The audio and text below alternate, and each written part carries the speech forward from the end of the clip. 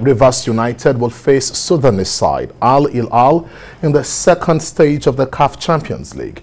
The Nigeria Professional Football League side defeated Tanzania's Young Africans 2-0 on aggregate to set up a clash with Al Hilal of Sudan.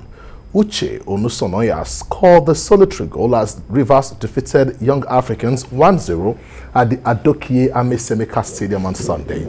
The Sudanese side sets up the reverse clash after seeing off Ethiopian side Fasil Kenema 3-3 on aggregates. The drew 1-1 with their opponents in Omdurman on Sunday after playing 2-2 away from home a week earlier.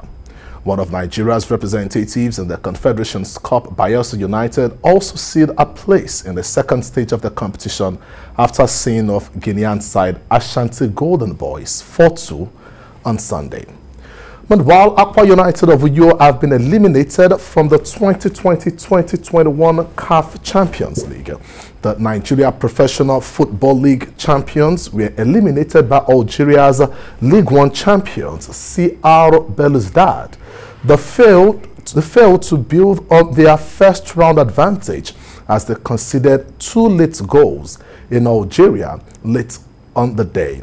Hosts CR Belouizdad showed resilience to overturn the one-goal deficit they suffered in Nigeria in the first leg of the encounter.